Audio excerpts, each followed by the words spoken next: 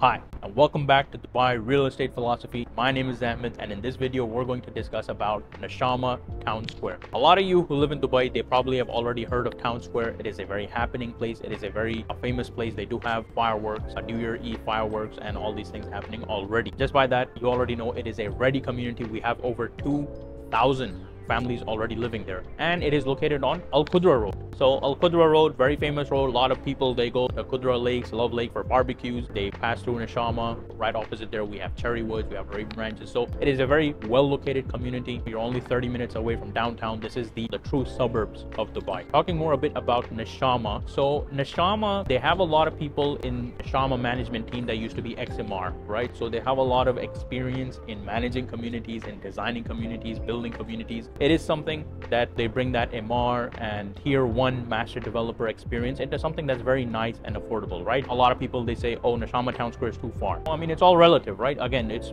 30 minutes away, it's in the suburbs, but then you're also looking at the prices, right? The prices over there are much, much more affordable. They have an amazing payment plan of 50-50. Talking a bit more about the community, it is an amazing community. They have an over 50,000 square meter park, uh, Central Park, which is centrally located. They have water features. If you can name a sport. They probably have a ground for it. They got basketball, football, badminton, volleyball. They have over 250 outlets. And these aren't just like normal small retail shops. They also do have small retail shops, but they also have very well-known brands. You have Spinneys, we have RDs, KFC, Pizza Hut, Five Guys is there. It is an amazing community. It's a very family-oriented lifestyle. As we mentioned, almost every community in Dubai gives you that lifestyle. You have your own pool, you have a central park. You don't have to worry about anything all the roads are amazing. They're paved. You have your guest parkings and the design of Nshama is very similar to Emaar because as i mentioned they have a lot of ex-Emaar employees working in Nshama as well. And they do have a new launch coming up. Uh, this is called kaya. I will have some uh, details of kaya prices and payment plan over here. They do have a 50-50 payment plan. By the time you get the handover you only have to pay 50 percent. Then you can either sell or you can even take a mortgage at that point. This is just a short video on Nshama town square. They do have a sales center there. You can come. They have show apartments over there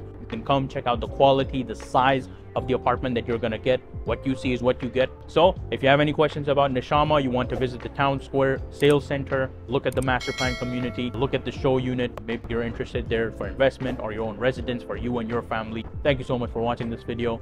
Goodbye for now. And you can conveniently reach out to me directly on my WhatsApp by scanning the QR code at the top right corner